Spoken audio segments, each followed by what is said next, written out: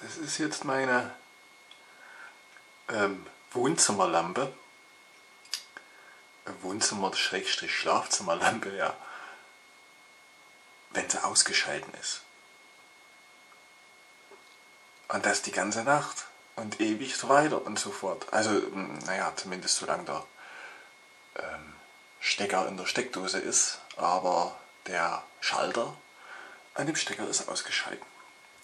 Ja, also irgendwoher zieht sich das System jetzt nonstop irgendeine Spannung, was ausreicht, damit der äh, Meissner Oszillator SSG da nonstop hin und her schwingen kann.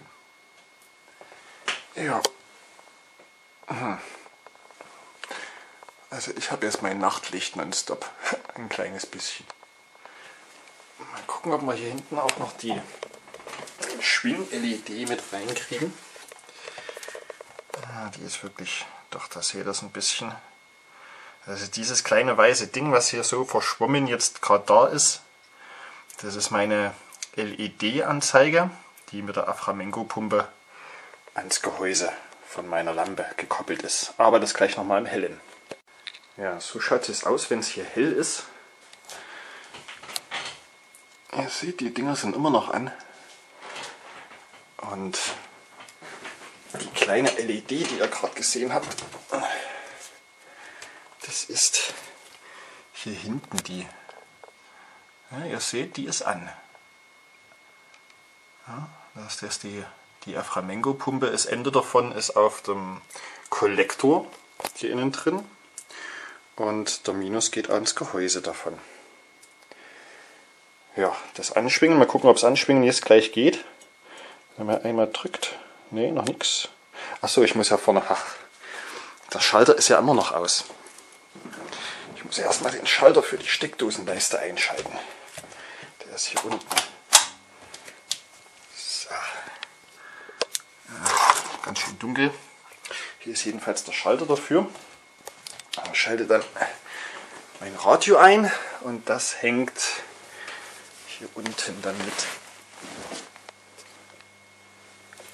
Hier ist die Steckerleiste, genau. Jetzt leuchtet auch das Lämpchen hier. Ne? Das ist nämlich jetzt mein 12 Volt 1 Ampere Netzteil, was dann in die Stehlampe hier hinten reingeht.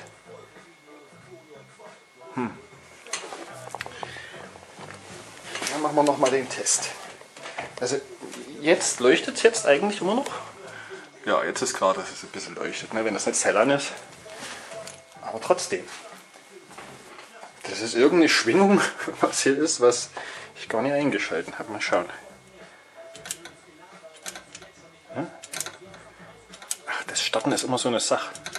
Jetzt, zweimal hintereinander, schwingt's. So, jetzt machen wir das Ganze nochmal rückgängig. Ne? Leuchtet jetzt alles schön. Ah, schalten wir es nochmal aus.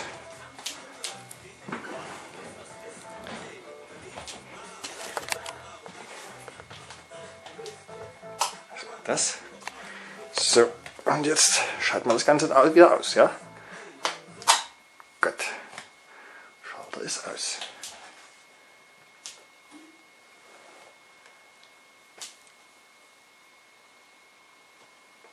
Gut, am Anfang ist klar, dass sich der Conti ein bisschen entlädt, ne?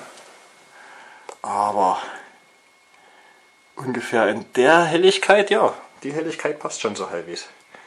In der Helligkeit bleibt es jetzt ewig, bis morgen früh und übermorgen früh. Ne? Also solange ich mit der Erde vom Hausnetz verbunden bin sozusagen.